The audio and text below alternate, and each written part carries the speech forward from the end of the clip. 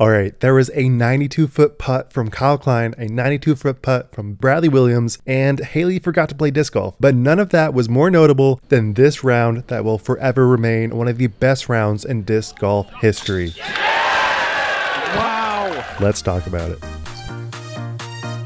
All right, so going into round two of Jonesboro, it was not looking like James was going to have the best tournament by any means because people were just playing so, so hot. He had an 8 under with a bogey on 17, and that is just not really going to cut it when people are playing so lights out that you have Eagle and Calvin getting 13 under, even on round one, where there is a lot of figuring out lines and figuring out your play. So it was looking to be just another tournament where Conrad does decent, but definitely not as good as we expect him to perform, with the thought of worlds forever cemented in our minds. And it really is notable that Conrad Conrad's only top 10 finish was sixth place at Waco. So I would definitely consider this a slump for Conrad, but that all to me changes at this pinnacle moment where Conrad gets one of the hottest rounds that has ever been played. And the craziest thing is that I don't actually believe there was coverage between hole 1 to hole 11. So at the moment, I don't think we have any way to watch those holes, but those holes were playing pretty hot. So I think it was pretty much regular disc golf, especially when you have four other people getting 13 under on their round. So the real stroke separation happened between hole 12 and hole 18. But with that said, it is notable that Conrad was 100% from circle 1 and circle 2 up until hole 14, which is even more funny because he actually laid up on hole 5. So with the coverage we can watch, you see hole 12 and hole 13 throws it in, pretty routine birdies, and then hole 15 also a pretty pretty routine birdie. This is the most aceable hole with cage hits all day. I think this is where the true madness comes in. That is an incredible start. 11 under through 12.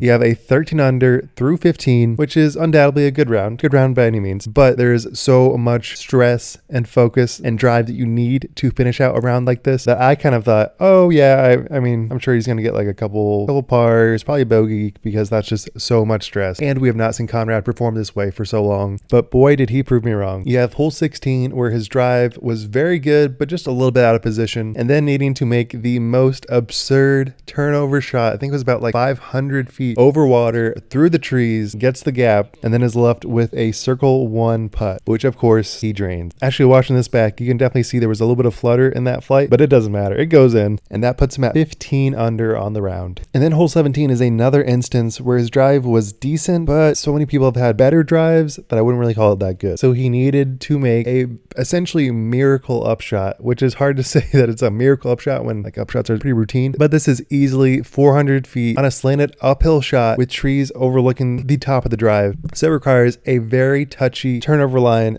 that basically nobody can do except the top, top elite pros, which includes your boy Conrad. And of course, he gets it within circle one like a boss. And it's not totally audible in this video, but it was stated and heard on some of these shots that Gannon and his other card mates were cheering him on super, super hard. So I think that really added to the positive environment that you need when you're playing this hot. now, of course, Conrad's not going to miss these. So let's go on to hole 18. So once again, hole 18, one of the scariest drives I've ever seen for T-pad. I've actually actually thrown this tee pad, it's tough. There's so many more trees than you might think. So his drive gets decently up the fairway, but he still needs a very, very tough upshot over the OB line, which of course he executes. And now all that he needs to make is a circle's edge 38 footer. And once again, at this point, I was thinking, I don't think he's going to make it, but that's okay. This is still a great round. But this is Conrad. He drains it. So that is a 1101 rated round, I believe. People were saying it was 1103, but I think it's actually, uh, and this marks the only 1100 rated round for the last four years, making us go back to uh, Double G's 1101 rated round 2019 at MVP. So this is clearly an astonishing moment that will forever remain disc golf history. And of course, I bet they're going to change the layout in some way next year, but this is hot, hot disc golf. I don't know what we're going to see in final round. It's probably going to be crazy as well, but I think having this consistent focus and drive for an entire round is almost unprecedented. You do have to talk about the Paul perfect rounds, and I think they do hold a place, but in the era of modern disc golf. Uh, Paul's 16 under at WR Jackson, one of the greatest rounds of all time. But this is this is one stroke better. But at least for the era of modern disc golf, I think this is one of the best rounds we will ever see. I am so hyped that this was happening and that I got to watch at least most of it. Uh, let me know what you guys were thinking. Honestly, so so hyped. Thank you guys for watching. Make sure to subscribe. Conrad, keep it up. Get that 18 under. Wild Runs signing out.